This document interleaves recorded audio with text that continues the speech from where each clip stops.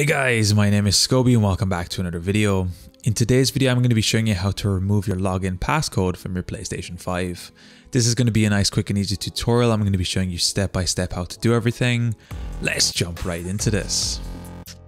So the first thing you need to do is have your PlayStation turned on and have your controller connected. We're going to be starting from our dashboard. We're going to be clicking up to come up to the menu here on the top. And we're going to be clicking to the right three times until we see the settings button up here on the top right. Once we have this selected, we're going to be clicking the X button to select this open. From this point, once we're in our settings, we're going to be clicking one down until we see the user and account option right here. We're going to be selecting this open and here we'll get some more information over our PlayStation. We're going to be coming to the tab over here on the left and we're going to be coming down to the second last option here, login settings. And here we'll see a couple of different options. Log into your PS5 automatically, change your PS5 login passcode, or delete your PS5 login passcode. Once you get to this point, we're simply going to be clicking the delete PS5 login passcode, and from this point you will then have to enter the passcode that you currently have added on your account. Once you have this entered, you will get this pop-up to say your login passcode has been deleted. Simply click OK, and just like that you've removed the passcode from your PlayStation 5. Anyway guys, it's as easy as that to delete the login passcode from your PlayStation 5 account.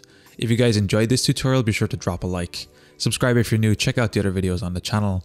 I'm going to be leaving a link down below to my PayPal if you found these videos helpful and you want to support me. Anyway guys, thank you so much for watching. Until next time, as always, keep it saucy. Peace.